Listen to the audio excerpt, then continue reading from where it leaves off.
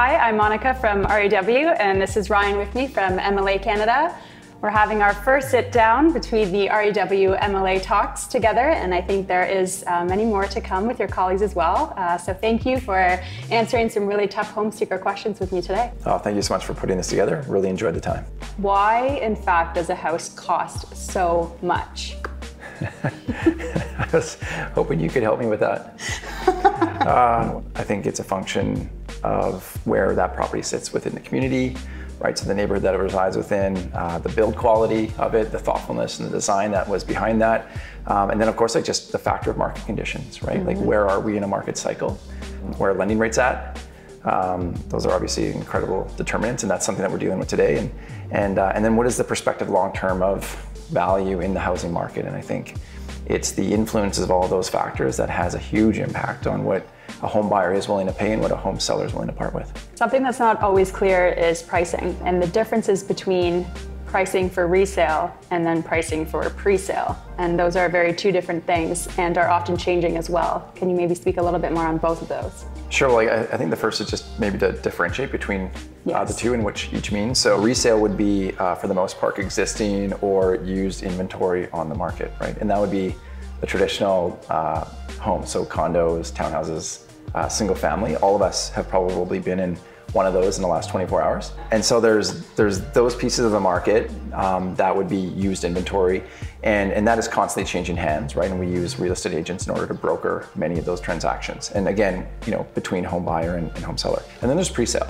which for the most part um, are, are, pieces of land that have been brought to life by a developer or a, a home builder. They've worked with an organization like ours. They've envisioned what those homes look like They've established what the build quality, what the spec might look like, and, and it's our job to bring those stories to life, to be able to kind of share exactly what someone could expect by living in that community. And when we're talking about pre-sale, which is what that is, it's it's a forward bet on the market, right? And and it's something that a home buyer would look at and say, well, I don't need this necessarily today. I'm willing to wait the two to three years for this building to actually complete construction. Um, but I'd like to secure my price today. Right. Uh, I'd like to secure a down payment through deposit today and have an opportunity to purchase this home in the, in the future. As a first-time home buyer, what would be the difference between pre-sale and resale? And if I did choose pre-sale, why?